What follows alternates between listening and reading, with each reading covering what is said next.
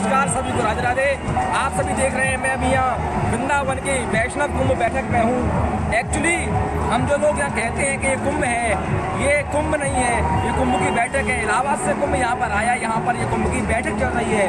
और यहाँ के बाद कुंभ की बैठक जब पूरी होगी 25 मार्च को रंग पड़ने का के दिन, तब यहाँ से कुंभ हरिद्वार के लिए प्रस्थान करेगा।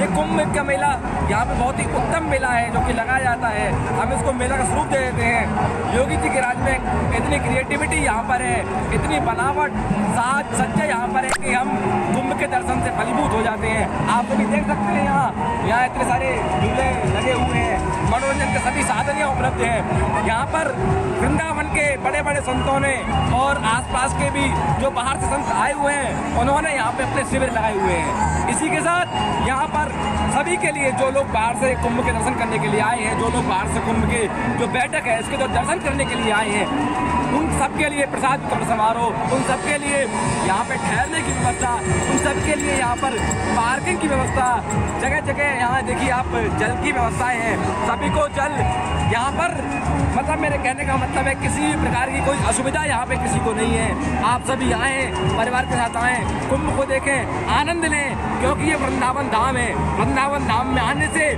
आप सभी का रोम रोम पुलकित हो जाता है, क्योंकि किसी कहा, किसी कवि ने कहा था कि, किसी कवि ने कहा था कि, मन तुलसी का दास हो, वृंदावन हो धाम।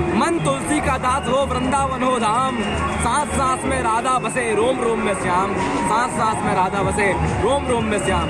रोम रोम में जो श्याम बसता है, हमारी सांस सांस में राधा का नाम लेते हैं। आपको एक बात बता दूँ कि राधा का नाम मात्र लेने से हमारी आधी से अधिक विविधाएँ दूर हो जाती हैं।